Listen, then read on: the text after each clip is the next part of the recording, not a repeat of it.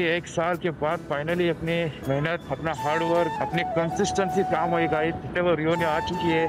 Thanks a lot guys. Thank you so much इतना सारा support दिखाने के लिए।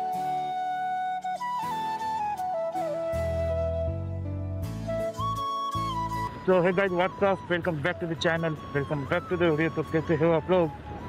Let me know in the comment और भाई ये कैसे हो आप लोग? भाई ये कैरी भैया वाला नहीं है ठीक है?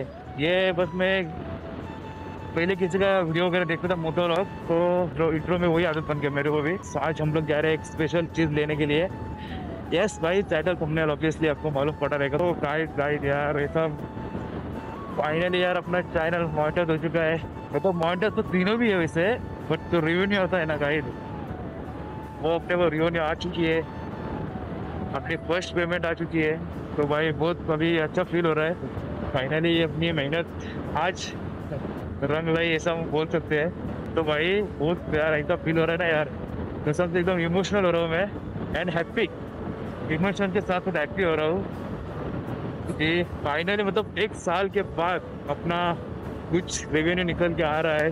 कि एक साल के बाद फाइनली अपनी मेहनत, अपना हार्डवर्क अपनी कंसिस्टेंसी काम हुई गाइस बहुत अच्छा फील हो रहा है। बहुत ज़्यादा मोटिवेट फील कर रहा हूँ अभी मैं।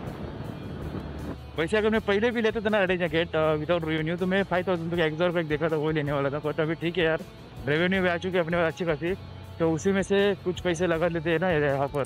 और अच्छा ही लेंगे, थोड़ा अभी लेंगे तो। तो मेरे पास तीन ऑप्शन थे एक तो सोलेस का कोई है राइडिंग जैकेट रंबल कुछ समथिंग ऐसा नाम है उसका।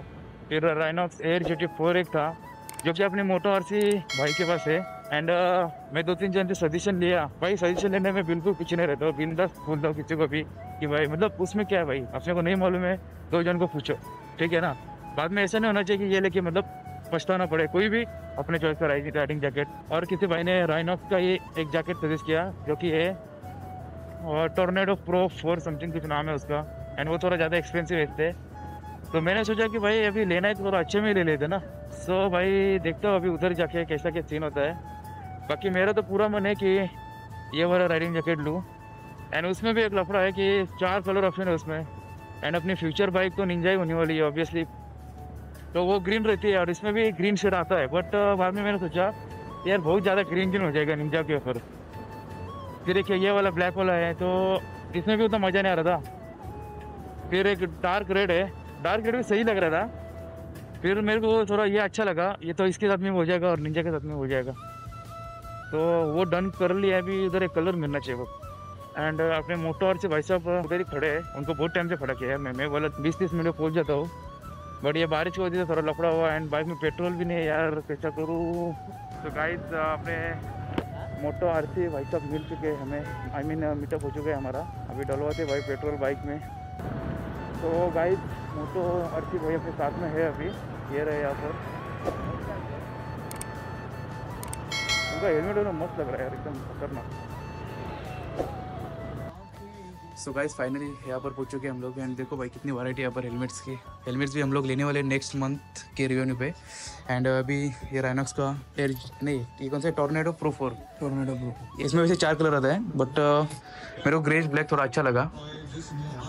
बिकॉज़ फ्यूचर में बाई चांस अपने पास निंजा आई बाई चांस आने वाली है बट निंजा आ गई तो उस पर भी वो मैच हो जाएगा कलर अब हम पूरा ग्रीन नहीं ले सकते ना।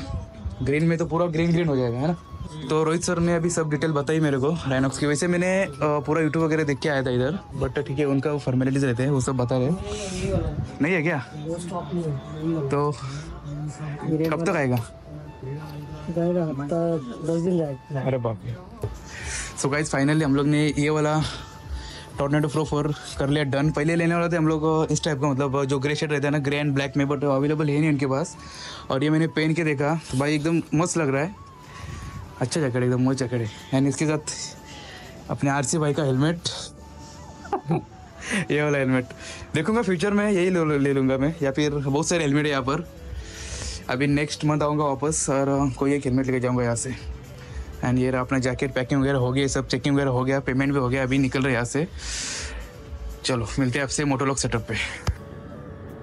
तो guys here we go finally अपना ड्रीम जैकेट राइडिंग जैकेट आ चुका है राइनॉक्स का, देखो भाई भाई। मतलब अलग ही फील हो रहा है यार, कितना मज़ा आ रहा है बाइक चलाने में। कभी सोचा भी नहीं था कि मैं भी कभी राइडिंग जैकेट ले पाऊँगा।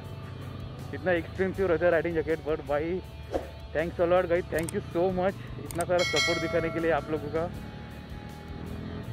बहुत अच्छा लग रहा है गाइस आज। बस अभी ऐसे ही धीरे धीरे अपन इम्प्रूवमेंट करते रहेंगे। इनफैक्ट वहाँ पर मैंने हेलमेट भी देखा है एक आज। हेलमेट भी सही लग रहा था गाइस वो। अच्छा लग रहा था हेलमेट तो अभी नेक्स्ट मंथ फॉर श्योर वो वाला हेलमेट एंड फिर थोड़ा सेविंग करेंगे। फॉर गो प्रो यस और ये सब चीज़ें अपने रेवेन्यू से आने वाली गाइस तो सपोर्ट करो गिफ्ट वगैरह करे, किया करो। स्टार्स वगैरह सेंड करो एफ़ पे वगैरह इंस्टा पे है। ठीक है? एंड यूट्यूब पे भाई फॉलो करो यार। और यूनिक बहुत जल्दी आने वाला है। तो गाइस प्लीज़ प्लीज़ प्लीज़ सब जगह पे फॉलो करो आपके भाई को। एंड चलो यहाँ पर करते थोड़ा बहुत शूट एंड आपसे मिलते ऐसे किसी राइड पे, ऐसे किसी ब्लॉग में। Till then stay safe ride safe and bye